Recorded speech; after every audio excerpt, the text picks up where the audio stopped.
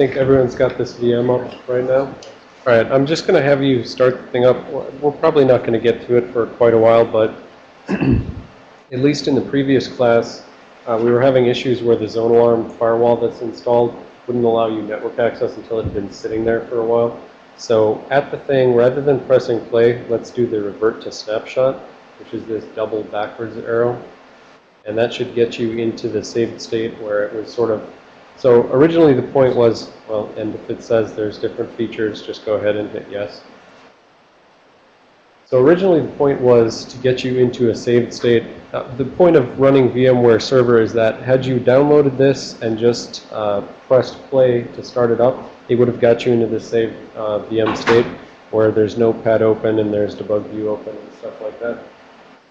Uh, this was because there were some changes you know, there was not as many as I would have liked, but there was at least one change here where if you would have uh, restarted the VM before you had uh, looked with appropriate tools, you wouldn't have seen uh, the change that was made to the system. It's not actually a malicious change because, like I said, I was having uh, some issues with conflicting rootkits where they would uh, not want to play well with each other. Surprise, surprise.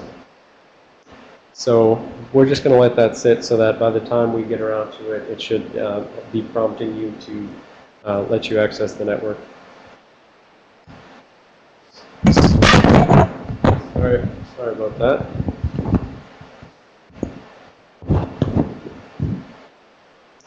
All right. So the initial theme of this is check yourself before you wreck yourself. Right, so here's the Ice Cube lyrics, and I didn't know any of the further of the lyrics other than the uh, other than the refrain here to check yourself before you wreck yourself. But when I looked into it, you can see that uh, clearly, is it again? Ice Cube, yes. Ice Cube is a uh, is singing this from the perspective of a rootkit, but he's advocating for uh, anti-rootkit detection so he's perspective of rootkit because he says he's bad for your health and he comes real stealth. But if you know the correct places to search for rootkits, you'll find them. All right, so um, like my previous classes, this is going to be all Creative Commons. So all of these slides will be public released. All right, so I have a few people in here that haven't had my classes before, so just to say a little bit about myself, I'm a generalist. I consider myself a computer security generalist, not a specialist, although over the last couple years I've been focusing on host-based security type things because I feel that you know there's plenty of people who know network-based security, but there's not enough people who know deep host-based security, and we're left with you know network-based uh, intrusion detection systems which have known problems where they can't find, you know, they can't inspect encrypted content and all that. So uh, it was an interesting way that I got into looking at rootkits, it was because I was working on a project, uh, the MITRE Honey Client project, which is a client-side honeypot where the point was a normal honeypot, the attacker comes to you, they break into your system, and the system has no point except to be broken into. And with a client honeypot or honey client, uh, it just runs around spidering the web, going to websites, waiting for them to break into the client just by, by viewing the website. And so I had done the uh, kernel monitoring component for that.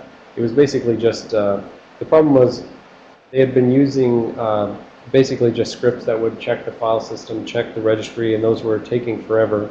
And so I integrated a third-party thing called Capture, which was which used some kernel uh, monitoring capabilities in order to see all the file system activity, all the process activity, on all the registry activity.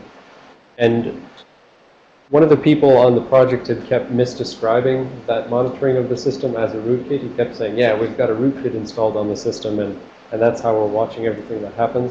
And so uh, someone else who was shopping around an idea for uh, hiding a detection system uh, had come to me and said, hey, I hear you know about rootkits. And I was like, well, okay, first of all, that thing that you were told was a rootkit, that's not a rootkit. But yes, I've been paying attention to rootkits off to the side for a while. So. All right, and then uh, Xeno is made, mostly made of uh, four elements, and every living thing is mostly made of four elements. Uh, plants, bugs, birds, bees, bacteria, and men are mostly carbon, hydrogen, nitrogen, and oxygen. That's to keep me humble and keep you humble. you're not so complicated. You're mostly four elements, and you're mostly empty space by volume. All right, so this is our agenda. Uh, less, more thing in less sections essentially here, unlike the previous classes where I filled up all four sections. Um, so the miscellaneous for this class, like the other classes, is when you have a question, ask it immediately. Just, you know, don't even bother raising your hand. Just shout out question and go for it. Uh, it's important to ask your questions as soon as you have it. Uh, otherwise, if you get lost, you know, I understand that some people will, you know, if you have a question, you'll just sort of try to think about it and puzzle it out. You think that, you know, additional context will help you uh, will help you understand it. But uh, definitely in this sort of class, we keep moving fast, we keep going low level, so it's important to ask questions, even if it's just to reiterate uh, what you think I just said. and as with the other classes, browsing the web and checking email is a great way to get lost here. Uh, I, I frequently have in other classes, you know, the one person who, you know, they're trying to attend the class, but they're busy, and, and then they're, uh, you know, just checking email throughout the entire class, and and then they end up coming multiple years in a row. So we're going to go with uh, two hours here at the beginning, and then a 10-minute break, and then two hours to lunch, and then one-hour breaks thereafter. So while I've got your energy and attention, we're going to try to push forward and get through a lot of material. All right, so what is the point of this class? So as opposed to some of the previous classes, which are a lot of background material which leads up into this class, the exploits class, the reverse engineering class.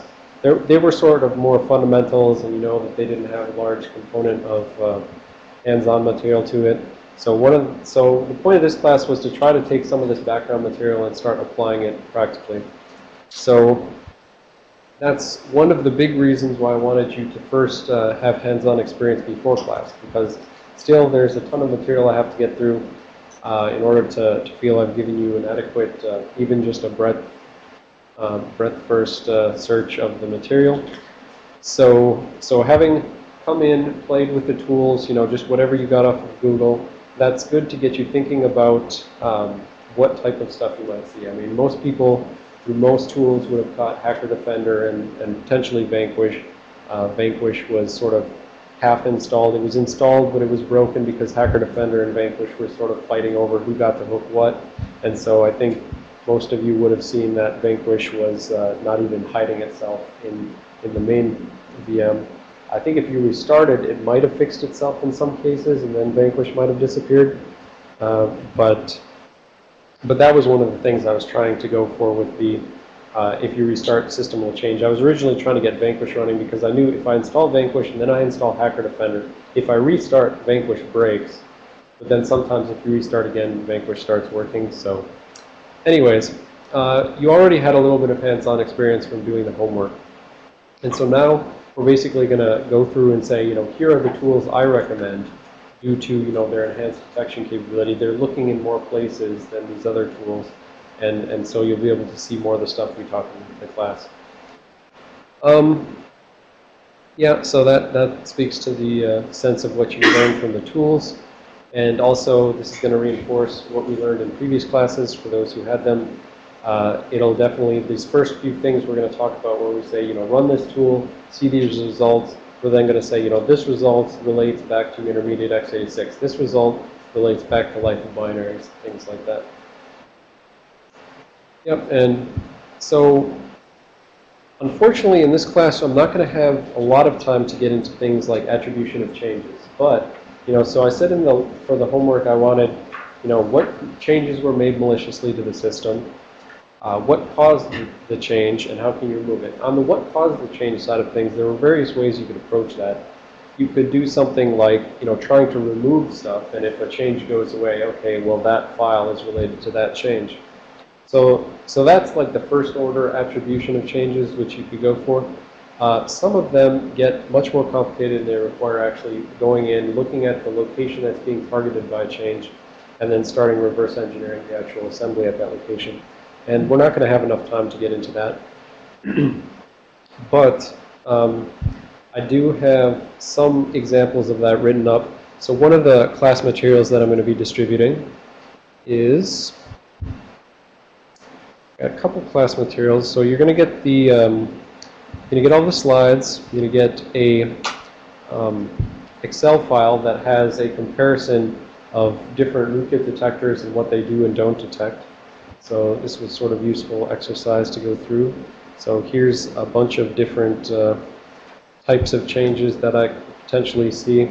And then here's a bunch of uh, rootkit detectors or things like WinDbg and whether or not they, you know, green is detects it. And I was very generous here in detection in, that I said it detects it even if you have to know specifically what you're looking for. And that's why WinDbg gets high green marks because in some cases there is no way to do to find something other than to go in, debug the system, and look specifically, did they change this data structure on this list somewhere. But uh, VirusBlok Ada is a uh, newer anti-rootkit tool, which I'll talk about later. But that one, I found that like the Friday before the previous class. I mean, VirusBlok Ada was the company which found Stuxnet actually, and so they've since then they've been uh, bootstrapping this anti-rootkit tool in order to, uh, you know, so they can really claim uh, expertise in rootkit detection, right? We found Stuxnet, and here's our super awesome rootkit detector. Prior to that, uh, I was, uh, Gmer was my favorite due to some of its removal capability, and it had reasonably broad detection capability. But, uh, but VBA basically uh, is surpassing that now, especially in the removal area. So the blue is, sorry, the green is just detects it. Blue is detects it and can potentially roll back changes. So when I was talking about how can you remove changes to the system, some of these tools can roll back the changes where the changes are something that should be one fixed value, and if you change it away from that fixed value, then they can say, well, I know what this should be, so they can roll it back, and you can do that without rebooting in many cases. Now, it may blue screen your system in some cases, but uh, it at least has the capability. So that's another material uh, you're going to have in this class, and so you can go out and you know find those tools and play with them as well. And then the other thing is a uh, TiddlyWiki, which is a sort of standalone let me have it open. It's a standalone little JavaScript in a standalone file. And uh, where I was going was I have some examples here of reverse engineering rootkit changes. So say ambiguous Gmer report 1, it says, okay, here's a bunch of changes that we see on the system. And it's saying, you know, this particular entry points at that address. But it's not telling you what module that address pertains to because it turns out that's on dynamically allocated memory uh, in the kernel heap, essentially. And so it's like someone allocated memory on the heap and they put some code there and this points to that code. But the question is, is that good guy code or bad guy code? It turns out in this case it's good guy code, but uh, the point of this is to show how you have to look at the things. So we say, you know, attach a debugger, investigate the memory location, and then here is how you actually have to reverse engineer it. So we can't get into this level of depth. This was going to be an example for the reverse engineering class that's in May. Uh, we decided that this was too in-depth for intro reversing, so maybe an advanced group rootkits class in the future, maybe an advanced uh, uh, advanced reverse engineering class. Probably not the malware class, which is going to follow on to the reverse engineering class. So you'll have that as well, and also useful is uh, getting a VM set up. This is sort of like instructor materials for uh, since I make these available, I want you know other people to be able to recreate the classes. But uh, this is useful in that you can see all the bat file that I executed in order to install all of the uh, various things. So I removed a couple of things which were conflicting and causing crashes and stuff. So there's a couple of rootkits that were going to be in this class. They were causing crashes. I removed them from this. Uh, you'll potentially see them in a future sort of optional just activity thing, not a homework or anything, but I'm going to put out a VM after the third class in June, where it's going to be a little more uh, stealthy installation of something. So this VM, the intent was just scattershot install as many rootkits as possible. And the next VM is going to be, you know, how can we make it a little more stealthy? And it'll still be using techniques from this class, but uh, perhaps their persistence mechanisms and things like that will be less obvious and therefore not, you know, point immediately at specific files. So that's another uh, of the class materials you're going to get at the end. And so I'm to, when I distribute the class materials, I don't want them given out to anyone. I don't want you talking about them the class with anyone who's going to be in future class. So we've got, we've had just now, uh, we had one McLean section, we're having this section, and then there's going to be, uh, there were too many people registered, so there's going to be another section in June.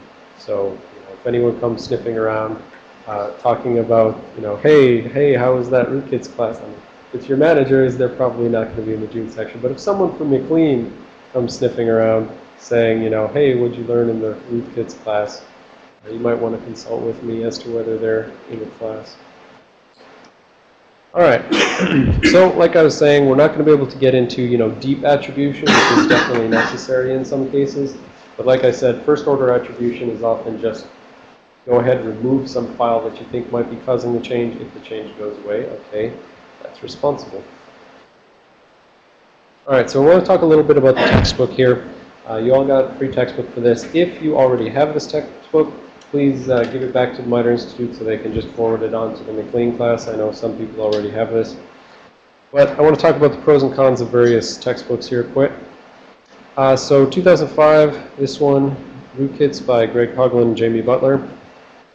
Uh, the pros of that book were that uh, it's written by Hoglund and Butler, who were two of the people who were contributing a lot to the early techniques of Windows rootkits specifically.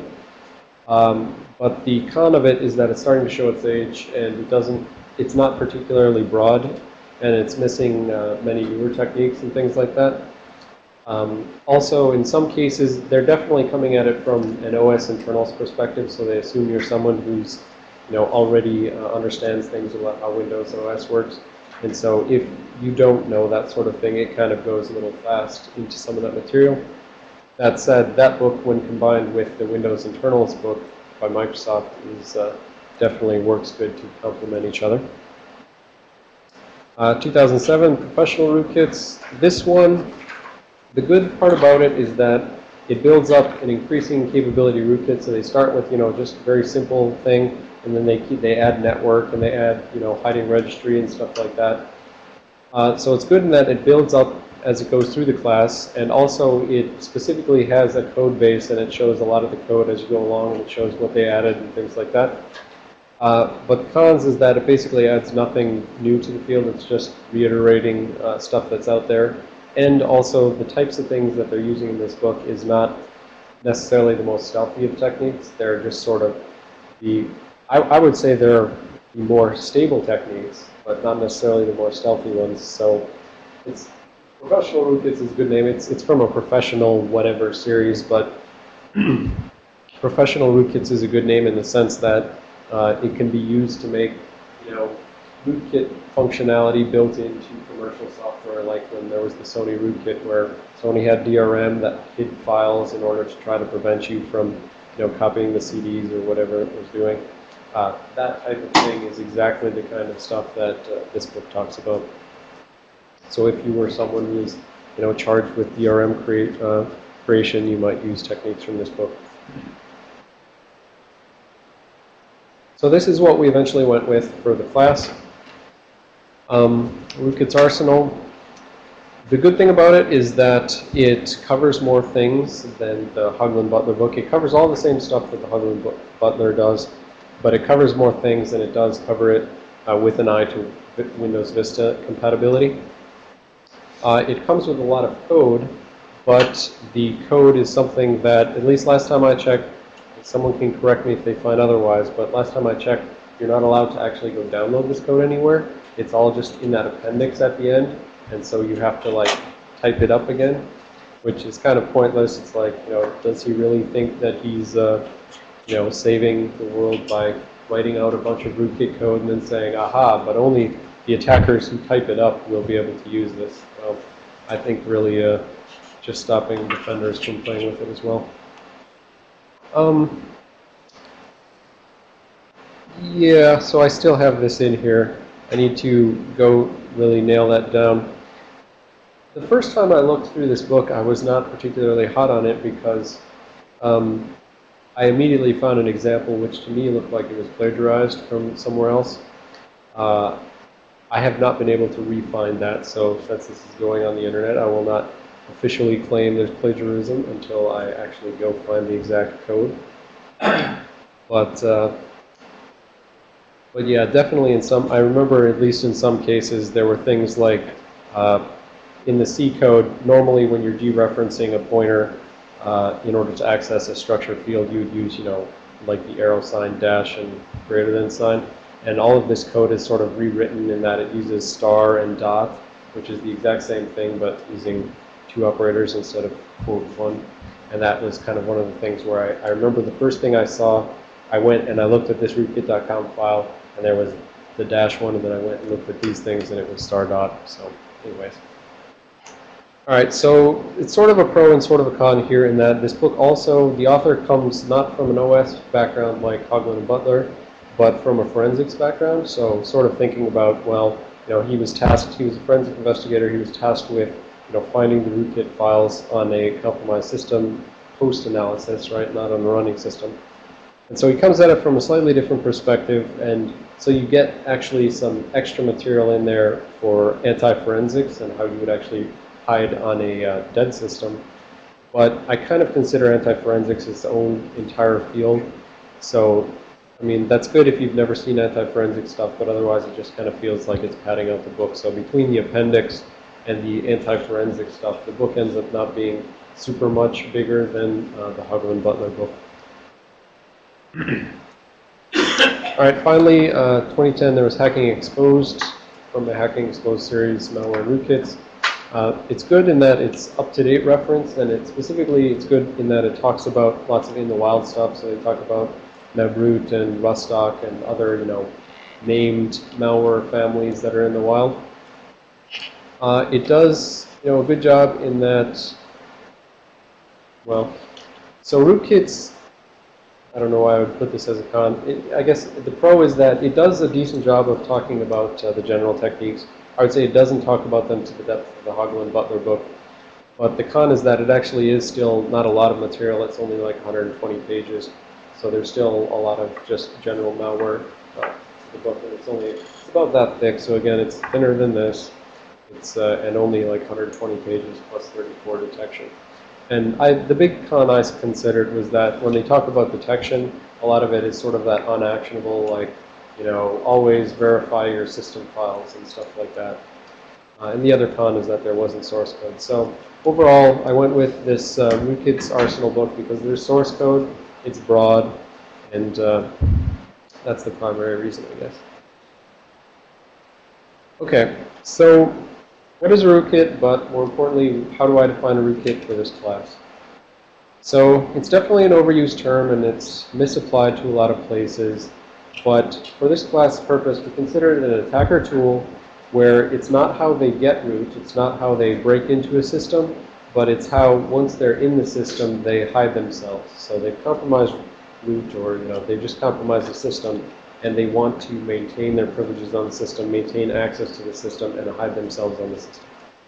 So I, I did sort of like this uh, Greg Hoglund definition from his uh, 299 Phrack article, where he says that uh, rootkit is a program which programs which patch and Trojan existing execution paths within the system. This violates the integrity of the trusted computing base. So it definitely is the case that a lot of the uh, rootkit attacks focus on integrity level attacks. So therefore, when we go to detection, uh, doing file integrity, memory integrity, things like that, we'll find a lot of the rootkit things. Um, and even some of the some of the other techniques, which are arguably not necessarily integrity based, they still kind of fall along the lines of semantic integrity, meaning they may not be just you know this value should be this, and if it's ever different, that's bad. It can be things like this list should have the same number of elements as this list. And so the way the operating system uses these lists, the integrity condition is that you know they have the same number of elements or something like that. So a lot of uh, a lot of there, it's sort of uh, a lot of it is about hiding, a lot of it is about integrity attacks, and uh, to a lesser degree, a lot of it is about persisting on the system. So I think in, in, a, in a different uh, forum, I'd, I'd focused on there's hooking, hiding, and, uh, and persistence. But, all right, so there's two sort of uh, taxonomies here. The first one is uh, ring-based, and so we, as we talked about in intermediate x86 class, uh, we know that Rings are sort of privilege levels on the operating system. And so ring 3 is user space, it's the least privileged, and ring 0 is kernel space, and that's the most privileged. But then there are these, uh, well, so, and for purposes of rootkits, this sort of talks about what level of privilege the attacker has. So there are user space rootkits where they don't actually need to compromise the kernel, uh, things like that. User space rootkits typically rely on things like process and uh, DLL injection where they, for every process that's at the same privilege as you, uh, they can just inject code into it through various Windows mechanisms. And, uh, and then they can just use API hooking, uh, either inline or import address table. They just use hooking within the thing in order to redirect control flow to say, you know, if you try to read the file system, they're going to intercept that and hide files. And so they can do that entirely at the user space level. They need not necessarily go to kernel. Uh, kernel level is obviously, you know, the attacker would like to be as privileged as possible so that the security tools uh, don't have more privilege than the attacker. And so they can attack the security tools. And so uh, kernel-based is sort of the common one. I don't know what, whether you'd say which is more common in the wild, but, um, but that's definitely what we're going to focus a lot on in this class. So ring negative 1 is that in x86, uh, they added the support for uh, hardware support for virtualization, and that's sometimes talked about as if it were a ring negative 1 because uh, when you add in a hypervisor, you know, to virtualize an OS, that hypervisor is more privileged than the OS, the guest OS that it's controlling. Uh, and therefore, it's sort of like a ring negative 1, right? If ring 0 is more privileged than 3, if you're going towards lower numbers to get more privilege, then uh, ring negative 1 is, is more privileged than 0. So a hypervisor is more privileged, and there's been rootkit talks that focus on either compromising an existing hypervisor or adding a hypervisor where there was none in order to get the attacker into a position where they're more privileged. These uh, negative how do they? Right, so the negative rings are not real rings in the sense of segmentation or anything we learned about in the intermediate x86 class.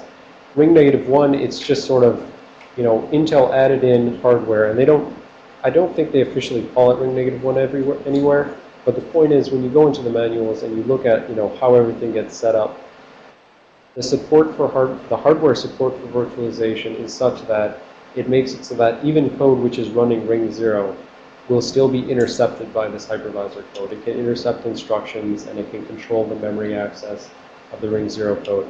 So ring negative 1 is the closest thing to a real actual ring here. It's just sort of a de facto ring negative 1 because when Intel added hardware support, they put a layer underneath the ring 0. All the rest of these are just sort of notional terms, and they're just for taxonomy purposes to say, here's where things are lower, lower, lower. You know, it's in between these levels inside of this privilege. So sort of the point is, uh, no, no matter where you are, the lower you are, the more everything else above it you can subvert, right? So by going to ring 0, you subvert all the ring 3 process. So if there's security software in ring 3, but you're ring 0, uh, they don't really have any hope of, you know, manipulating you or detecting you or anything like that. If you go to ring negative 1, uh, then maybe it's much more difficult for uh, ring 0 code to actually detect you.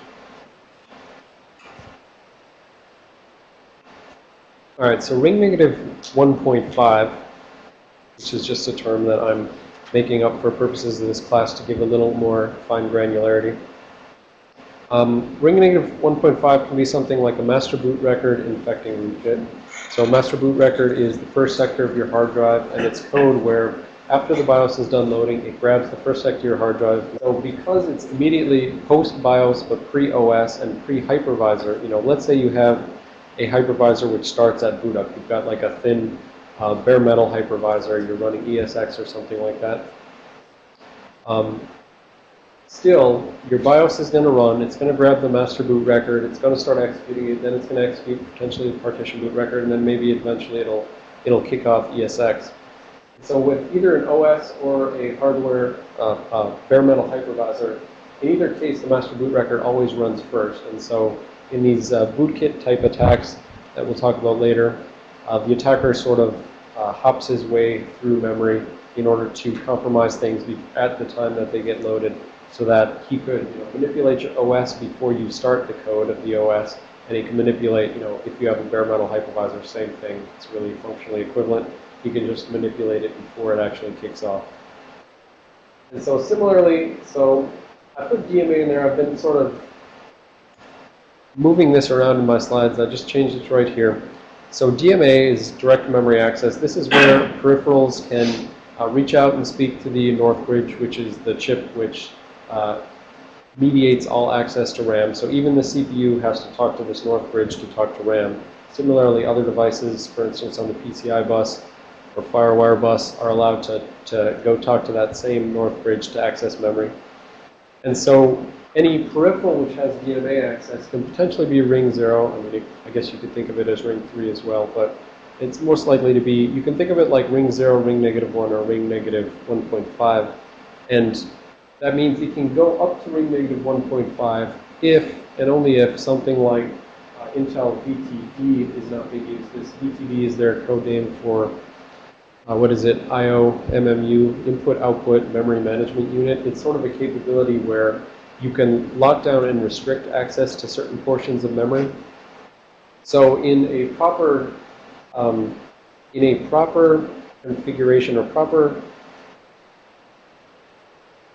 I don't know, in a properly designed hypervisor, the hypervisor should be using something like VTD in order to lock down its own memory so that it says external peripherals may not write to the hypervisor memory. Right?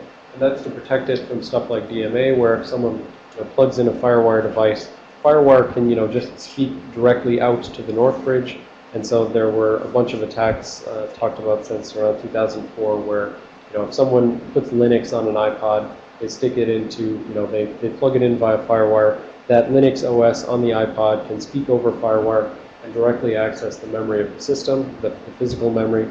And that physical memory gets mapped to virtual memory, and that virtual memory can be being used for you know, user space processes, the OS itself, and, uh, or a hypervisor. So if your little iPod can uh, reach out and rewrite any of the hypervisor memory, that means it's functionally more privileged than ring negative 1, right? But if the hypervisor is uh, being correct and locking it down, saying no one may ever use DMA to access my memory, well then, uh, you know, the attacker may only be a ring 0 uh, privileges in terms of what they can modify. Similarly, an OS can use VTD in order to lock out, um, you know, say there's no virtualization in play. An OS can lock out a uh, peripheral from writing to its own memory. But if it's not, then functionally the DMA accesses that at ring negative 1 because it can change anything in the kernel. So that's where I'm putting that right now. And, and it definitely is a caveated thing. It all depends on whether these things like VTD are actually being used, which uh, I guess Xen does use it, for instance, in order to lock down the hypervisor memory space, but I don't know about other things like uh, VMware. I think it does, but I'm not sure. All right, so system management mode is a dedicated mode of the x86 processor where uh, it's meant to be used for uh, system management type events, meaning things like you've got a little heat sensor on the uh, on the motherboard, and so when it fires off an interrupt saying, "Hey, the, the CPU is getting too hot," there's some code which is supposed to handle that immediately, turn on the fans, and let the system resume. And so that that's one of the the intentions for use of system management mode. Uh, it's handle that sort of thing. The thing is, system management mode is sort of privileged in the sense that people are calling it ring negative 2 because um, the code which executes in system management mode is allowed to be locked down. So there's, when, uh, when the BIOS is executing, it basically puts some code in a memory region and says, I'm going to treat this like the SMM code, and then it's going to execute whenever this certain system management interrupt occurs. And when the BIOS does that, it can also set a register that says, lock this memory down, and no one should ever be allowed to access it except the SMM's code itself. And so the reason it's considered like ring negative 2 is because if the BIOS says lock everyone else out of SMM, then that means a hypervisor is not allowed to read the memory of SMM, and an OS is not allowed to read it. But the SMM is allowed to read, you know, all of physical memory. So it's like SMM can access all of physical memory, which means all of the OS's memory, all of the hypervisor's memory, but the hypervisor and OS are not allowed to read its memory just based on this uh, locked state. So that's why SMM is considered ring negative 2, because it can, you know, modify all that stuff above it, but they can't modify it. All right, then going lower, ring native kind of 2.5 is uh, BIOS or EFI, extensible firmware interface. So newer systems use EFI, or Macs use EFI, and uh, older systems use BIOS. And so the point of BIOS or EFI, it's a sort of firmware where immediately on system reboot, uh, your CPU gets set to a default state, your North Bridge gets set to a default state, your South Bridge gets set to a default state. The North Bridge, again, is the guy who access, who mediates all access to RAM. South Bridge accesses all of the slower peripherals that aren't connected to the North Bridge. So, uh, John, what's an example of something like that? South Bridge sort of thing. What are some of those buses on the South Bridge? Oh, yeah. Yeah. So there's a low pin count where the BIOS actually is. What about like PS2? Is that down there? Yeah, I don't know either. I can't remember any of the uh, slower stuff, but basically slower stuff is typically on the South Bridge, and the fast stuff is on the North Bridge. But um, the BIOS, when your system gets reset, it's reset into a state where the CPU accesses a specific uh, specific memory address as the first instruction that it's going to execute. But because the North Bridge and the South Bridge are reset, that memory, that quote, you know, memory access where it's trying to look for an instruction, that just gets redirected down the North Bridge, and instead of going out to memory, well, I'll, I'll drop it real quick.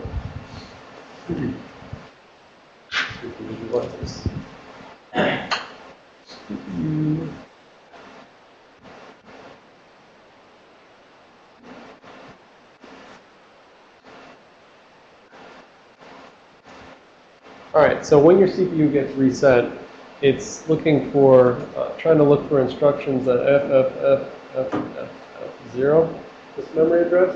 But these things get reset so that whereas normally the North Bridge would say, oh, you're looking for that, you know, memory address? Okay, I'll redirect you out to RAM and you can go and read that memory address. But when it's in a reset state, for that specific address range where that resides, it basically uh, redirects it down uh, through the North Bridge, goes to the South Bridge, and the South Bridge redirects to the BIOS. So that the very first instruction that the CPU executes, it reads in from the BIOS, which uh, this this BIOS uh, memory gets, you know, it's quote mapped to memory, but it's more like all of the memory accesses are mapped to the BIOS. So the CPU gets instructions from the BIOS, it starts executing them. The BIOS is then, you know, supposed to do the initialization of the system. It's supposed to check whether you even have any RAM installed right now. It's supposed to go out and initialize peripherals. And eventually when it's done, it goes and it says, okay guys, I'm done. You know, you can, you know, cancel that out. You don't have to redirect me anymore. And you don't have to redirect me anymore. So, you know, stuff can go back to RAM. So that's the BIOS's job. But the reason why we consider this uh, more privileged than system management mode, for instance, is because uh, inside of the BIOS is, you know, a little bit of code, the system management mode code, where it takes that and it puts it in memory and it sets all the relevant bits to say, okay, this is going to be the, the instructions which are used when a system management interrupt occurs, and then I want these locked down. So basically, if you control the BIOS, then you control system management mode, and system management mode can control everything else. So just a cascading sort of effect there. And similarly, you know, the BIOS reset, when the BIOS is really totally done, it goes and it reads the master boot record in from disk, and it like just goes ahead and passes off to that. So same thing where controlling the BIOS, you could manipulate the master boot record data before you pass control to it, and then do the equivalent of a bootkit, but without having to change the stuff on the hard drive. So that's uh, why the BIOS is sort of ring negative 2.5. And finally, ring negative 3, uh, chipset based. So I go back to this picture. Chipset based is actually where you're subverting this North Bridge here. And so I said that, for instance, the SMM, um, the SMM gets put into RAM in a certain location, then you lock it down, you know, quote lock it down. But the thing that actually does the enforcement of locking is the North Bridge chipset, which uh, is the thing that says, is someone trying to access the SMM? And then they say, is this the SMM itself? No. All right, disallow. Or, you know, the PCI is over here.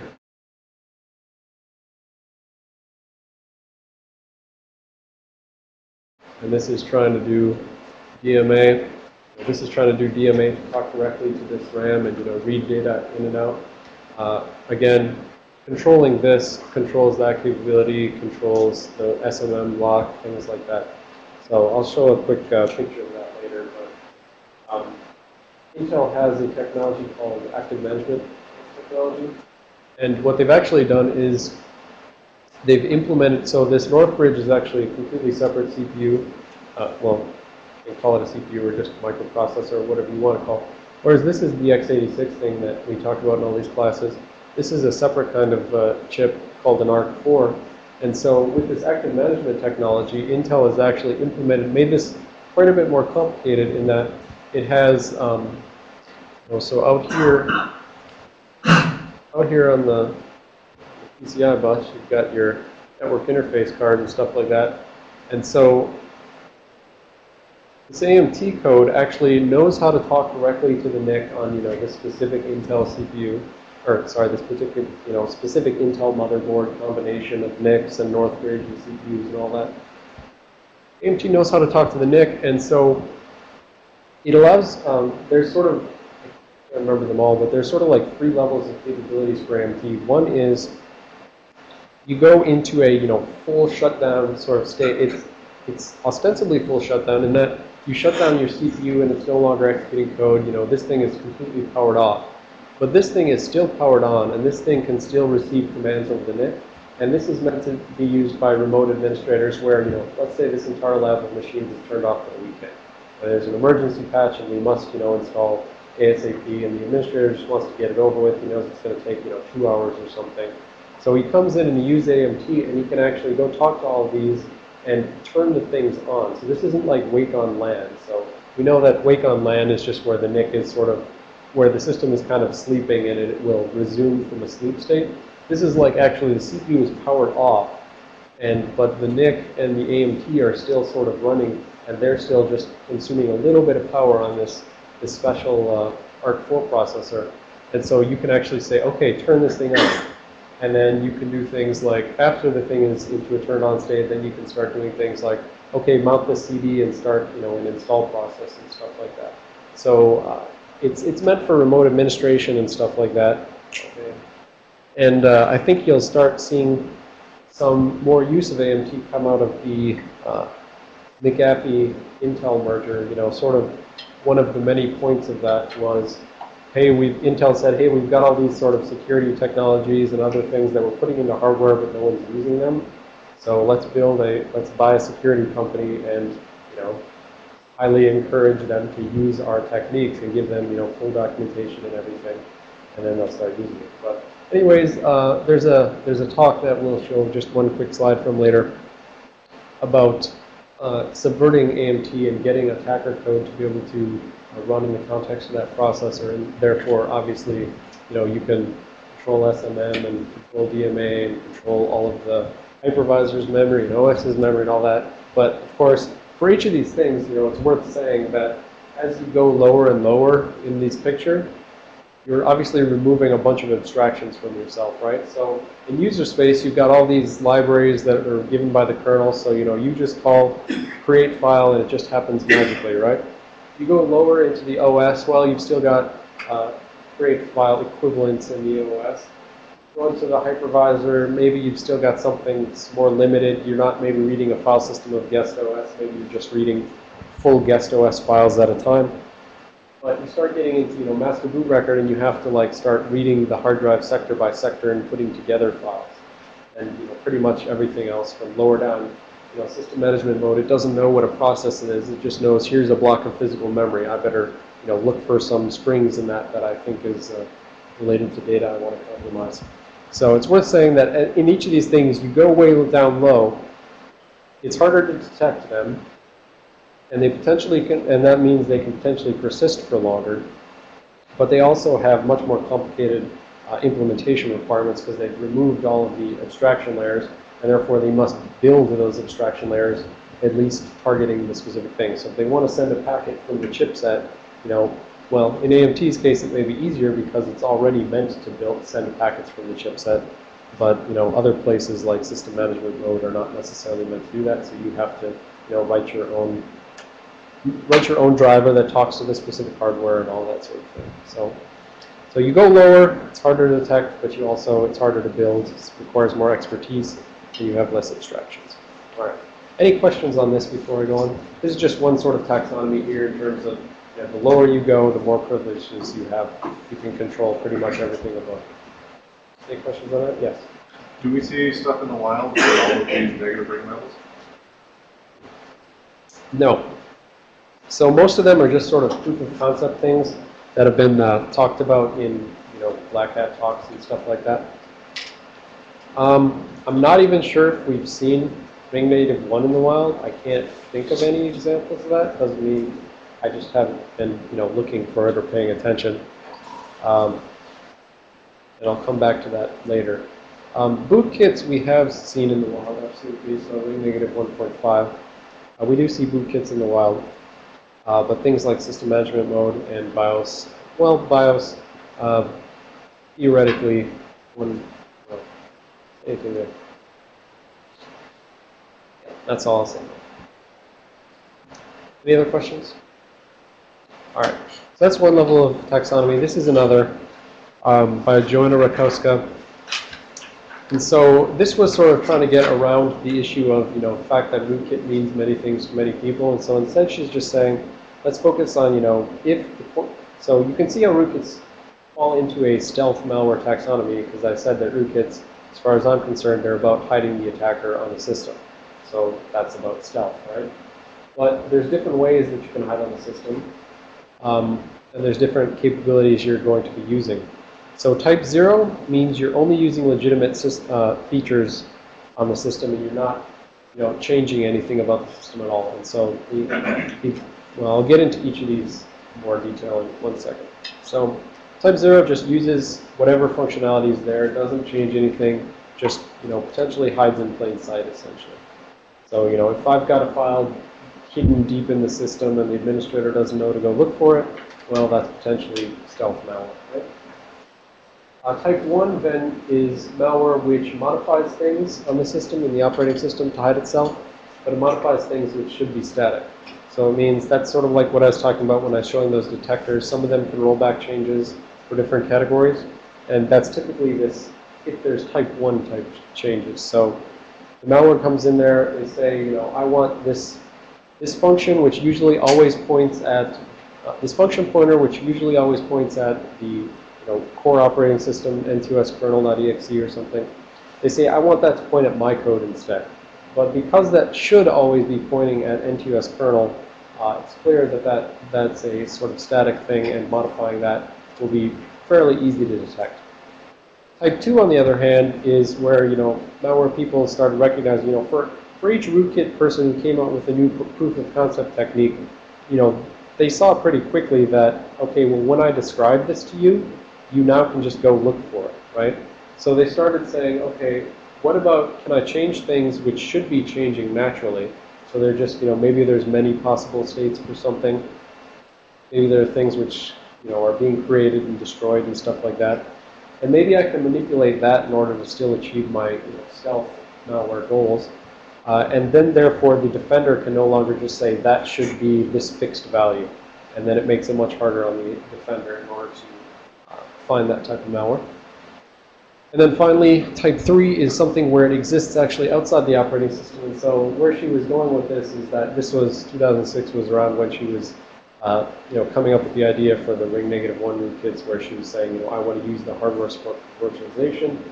And I'm going to like actually jump outside the operating system. I will be a hypervisor. And then theoretically, I will control everything that goes on in the guest OS. So you should never be able to see me. Right? And that's not actually the case, but but uh, but that for purposes of this taxonomy, if you're sort of you know really outside of the place where the defender should be looking, it's sort of more about you know if the defender is looking for operating system subversion, if you're somehow completely outside of the operating system, then uh, then that's one way to be stealth, right? You're still maybe manipulating the operating system from the outside, but uh, but it makes it harder for the defender there. All right, so some examples of type 0 malware are things like spyware, Trojan bots, things that hide in plain sight. So you say, you know, if it's these capabilities don't necessarily focus so much on the hiding aspect of things other than the last one, but but it's just worth saying that, you know, for something like a botnet, if it has the capability to do a DDoS attack, there's nothing illegitimate about the ability to open up a network socket and send some packets, right? It's only when, you know, you send it at maximum rate and when it's combined with a bunch of other stuff that that becomes something we consider malicious. But, uh, but, but it's just using functionality built into the system. So, so really where the stealth side comes in is the hiding in plain sight. So, and, you know, Stuxnet is actually a good example of this. So Stuxnet kind of, it's a, diff- a few different levels here, but the driver files for Stuxnet were like MRX net.sys, I think was one of them, and something else, MRX class. I I can't remember which one's legitimate, which one's not. The point was, on a normal Windows system, there are things like MRX SMB.sys. That's like a legitimate Microsoft file. But Stuxnet named itself like a legitimate Microsoft file and just put itself into the services to start up like a legitimate Microsoft file. And so it wasn't actually trying to, to hide itself there on disk or anything, gambling on the fact that, you know, it looks like just another thing. And uh, as, as most of you saw with your homeworks, if you run rootkit detector and you're hiding your files, that, you know, shows up as a big red flag very easily. So in some cases, it may be better to actually be type 0, just try to blend in with the system rather than change anything about the system. Now, they did hide the exploit files and stuff like that on the USB disks. They were hiding those files, but not actually the service which persisted on the system. All right, so detecting type 0 was basically out of scope for the taxonomy and also for this class. When something is actually just sort of hiding in plain sight and not actually changing anything about the system, well, that comes back to where you kind of have to know what should or shouldn't be on your system, right? So you know, some of these sort of things can help with that. There's, you know, obviously antivirus can find known things that shouldn't be on your system. Uh, file system integrity checking is, you know, the flip side. That's sort of whitelisting where you're saying, I'm going to take everything that I think should be on my system, put it in a list, and anything new that gets added, I need to check that. And so, you know, that sort of thing would have found uh, Stuxnet at two levels. It would have found that uh, the new addition of those system files would have also found their trojaning of a DLL later on. But, and then there's also behavioral analysis and things like that.